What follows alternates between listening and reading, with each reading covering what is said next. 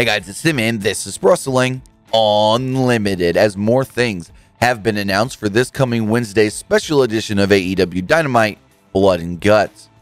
First off, we do know that Miro will speak on the show.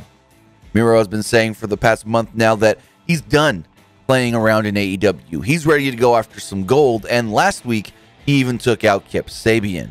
So Miro, Miro's finally going to tell us what his true intentions are in All Elite Wrestling. Also, announced on last night's AEW Dark Elevation, we do know that Ethan Page and Scorpio Sky will be appearing in some form or fashion on Dynamite this week. Last week at the end of Dynamite, we did see them both come down and attack Sting and Darby Allin after Darby Allin's TNT title match. What do they have to say or what will they do? I don't know.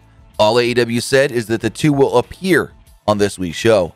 Could mean that they're going to have a talking segment, could mean that they're going to just show up and attack somebody like Darby and Sting again, which those two are not yet announced for the show. But regardless, AEW has announced that both Ethan Page and Scorpio Sky will be appearing this week on Dynamite.